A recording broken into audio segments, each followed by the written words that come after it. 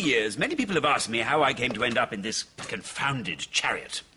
Well, it wasn't pleasant, was it, Fife? I won't forget it in a hurry. You see, Fife and I were painting the ceiling of his drawing room a number of years ago. I was up the ladder and Fife was down below in more of a paint-providing capacity. Isn't that so, Fife? Just so, just so. Whereupon happened my little accident. And, well, we've written a song explaining the rest.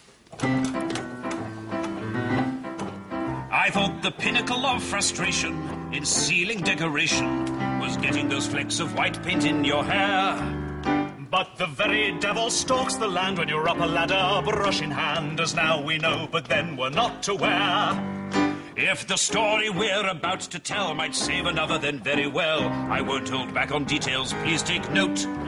You see, when painting up on high, I got something in my eye, and I owe this disposition to that mote. As Brabin stepped down from the rays, there was a parting of the ways. And I did the most acrobatic splits you'll see.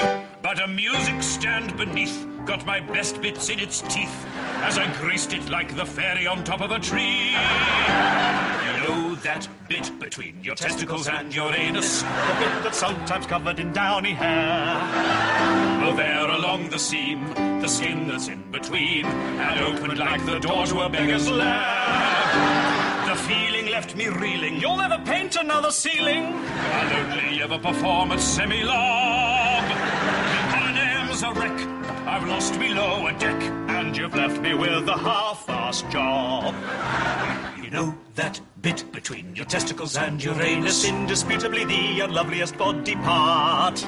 Well, to summarize, there's a hole between my thighs, and I can achieve a fine vibrato when I fart.